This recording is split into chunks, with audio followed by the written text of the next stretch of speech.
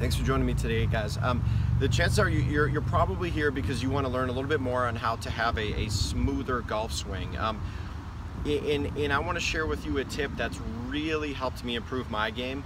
It's actually enabled me to, to really get my handicap down to a zero. So one of the one of the, the, the very important tips that I learned over time is really the, the the concept of swinging your arms, okay, and not so much your wrists or your hands, okay.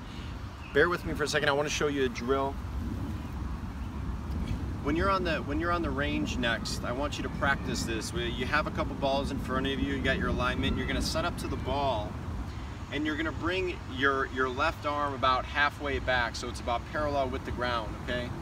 Once you do that, once you have your um, left hand, uh, left arm parallel to the ground, so about right here, all I want you to focus on is really your elbows and the back of your, your triceps here is really pulling your hands through impact. So it's kind of like your the back of your arms and your elbows are, are leading the, the swing and they're pulling your arms through, okay?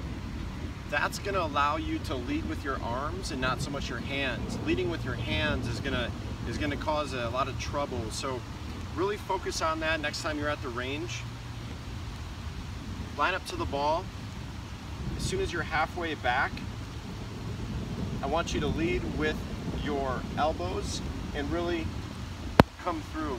Make sure you get onto your front foot, finish on your with your back foot up in the air, and I guarantee you that will help you improve your ball striking. If you like this video, you can check out my other videos on YouTube. My name is Mario Russo, um, and I come to you with tips and strategies and techniques on how to improve your golf game. Thanks for joining me today.